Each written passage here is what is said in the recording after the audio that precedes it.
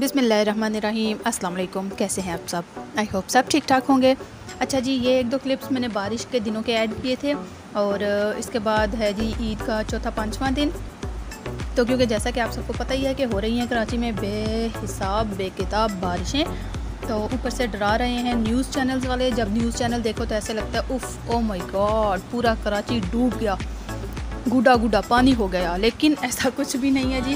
हम लोग ईद के चौथे, पाँचवें दिन गए थे हाइपर स्टार बच्चों को घुमाने के लिए, क्योंकि काफ़ी टाइम हो गया था बच्चों को कहीं ले के नहीं गए थे बारिशों की वजह से।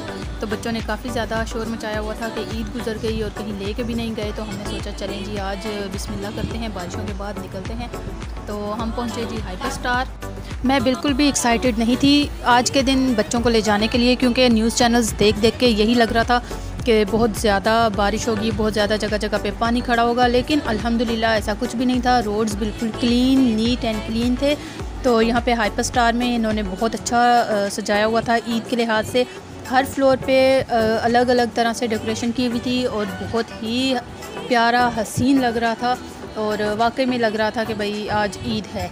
यानी कि लोगों का रश देख के और उसके बाद हर फ्लोर को, हर सेक्शन को अलग अलग तरीके से डेकोरेट किया हुआ था और जो कि सब बहुत प्यारे लग रहे थे, बहुत ही अच्छा लग रहा था हाइपर स्टार आकर। यह है जी यहाँ का फ़ूड कोर्ट और जो लोग जानते हैं मतलब रहते हैं कराची में वो लोग तो ऑब्वियसली जानते ही होंगे कि हाइपर स्टार माशाल्लाह से काफ़ी बड़ा है।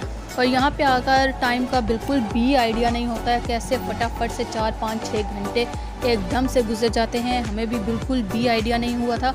तो बच्चों ने शोर मचा दिया कि हमें जाना है सबसे पहले प्ले एरिया में। तो प्ले एरिया के बिल्कुल साथ ही है फेरी फ्लॉस तो यहाँ पे बच्चों ने देख के शोर मचा दिया। तो फिर इन तीनों के लिए अलग अलग तीनों ने कलर्स के फेरी फ्लॉस लिए, लेकिन सबसे मज़े का जो फ्लेवर था वो अनाबिया का था पिंक में।